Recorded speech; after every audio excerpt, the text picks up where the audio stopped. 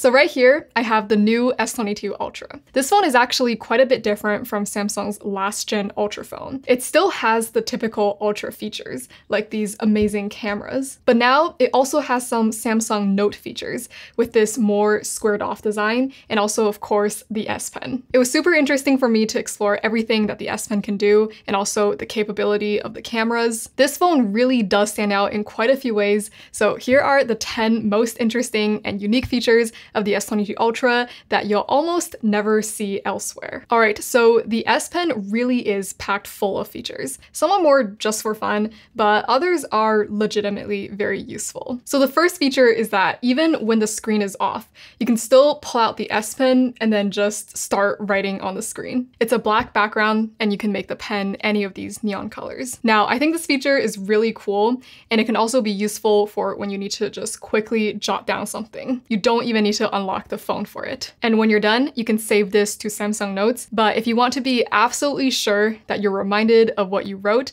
you can even pin it to your always on display. And when the reminder is no longer useful, you can just double tap on the X there to delete it. But if you have the phone unlocked and want to quickly create a note, then just hold down on the S Pen's button and then double tap on the screen. Another way to do this is to tap on the floating pen icon, which pulls up the panel of S Pen features, and then just press on create note. So this essentially just pulls up the Samsung Notes app as a pop-up window, which you can resize and then place anywhere. This is quite useful for when you want to take notes on something that you're reading on your phone because the pop-up window will not cover it. And you can also very quickly minimize this entire window into a floating icon. And the S Pen actually feels really natural to write with. It has these flat edges, which I don't really find as comfortable as rounded edges, but holding the S Pen overall still feels pretty good. Now, the pen actually tracks perfectly in Samsung Notes. There's basically no latency at all, so I have very precise control, and I would say I can write as fast and well on this screen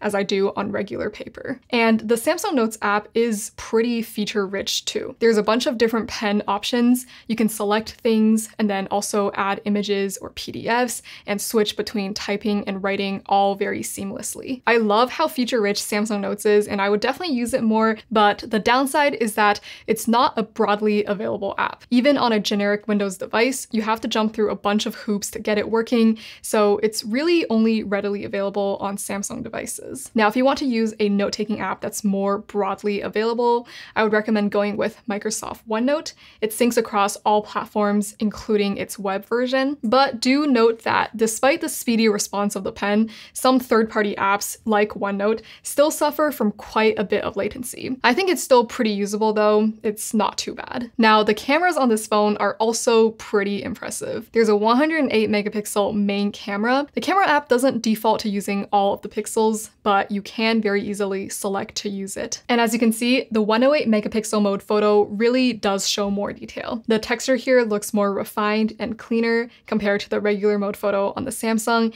and also the iPhone's photo from its 12 megapixel main camera. There's also an ultra wide lens and a telephoto lens with three times optical zoom on the S22 Ultra, but it actually has a second telephoto lens with 10 times optical zoom. Most phones, including the iPhone 13 Pro and also the regular S22s, just have one telephoto lens with three times optical zoom. And again, you can definitely see the difference. At 10 times zoom, the Samsung photo still looks pretty clean. There's a bit of noise here, but the text is very clean. The iPhone's photo, by comparison, looks a lot worse with a lot more noise, and the text looks smeared almost. So yeah, the 10 times optical zoom is quite impressive, and it can certainly be useful for reading far away signs. It's kind of like having a little telescope in your pocket. All right, and back to the S Pen. So it can also do air actions, which is basically when you hold down on the pen button and then do an action like this or like this. The air actions in the camera app are definitely very useful.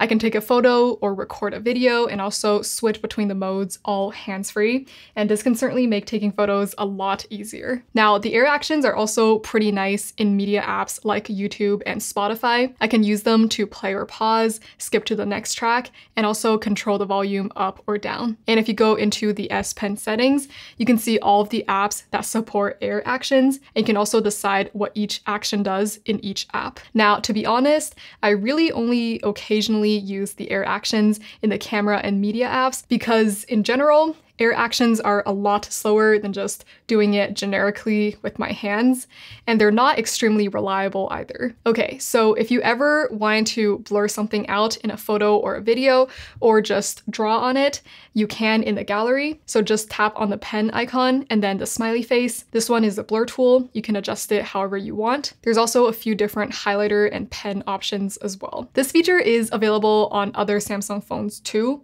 but I feel like it's even more useful on the S22 Ultra because you can get a lot more precise with the S Pen. And for blurring or drawing on a screenshot specifically, you can use Smart Select or ScreenWrite, both of them are in this S Pen panel. So with the Smart Select tool, you can select a portion of the screen with a circle or a square or freeform. And with the ScreenWrite tool, you take a screenshot of the entire screen. And if it's a long article, you can even use scroll capture to get the entire thing as one screenshot. And then on both tools, you can draw on the screenshot or blur things out. Now, this is especially nice with the S Pen because now I can draw nice diagrams to illustrate a point or just write little reminder notes on the screenshot screenshot. I definitely find this feature super useful. It allows me to add context to the screenshots so that later on I can better remember why I took it in the first place. And also in the S Pen panel is the option to write on the Samsung calendar. This kind of brings back old school vibes, which is kind of ironic since this is such a brand new product. I wouldn't say this feature is particularly useful, but it's fun and even a little bit nostalgic to like circle things on the calendar. And note that while Samsung Notes can sync with Google Calendar, these pen drawings unfortunately won't be synced. Okay, and there's also the translate feature in the S Pen panel. It's powered by Google Translate. All you need to do is hover the S Pen over the text. You can translate whole paragraphs or just individual words, and it's pretty fast. So yeah, those are some of the most interesting features in the S Pen panel. Now, there's also the S Pen to text feature. You can enable or disable this in the settings. This is probably not very useful for writing English words because it's usually not faster to write than to type, but maybe for some other languages, such as Mandarin, it might be faster to write than to type. All right, and the last one is that if you do write a lot of things on this phone, you can actually get a nicer and larger S Pen to use. You do have to toggle on allow multiple S Pens in the settings, but after that, you can just leave the included S Pen in its little holster and use other S Pens to write on the Ultra. So yeah, those are all of the features that I found to be the most interesting and unique on the S22 Ultra. I really hope that you enjoyed this video and also let me know down below which one of these features was the most interesting to you. And yeah, that's going to be it for this video. Give it a thumbs up if you enjoyed it and also subscribe to my channel so that you won't miss out on any of my upcoming videos. These are the rest of my social medias, so feel free to follow me on those platforms. And I really hope to see you in another one of my videos. Bye!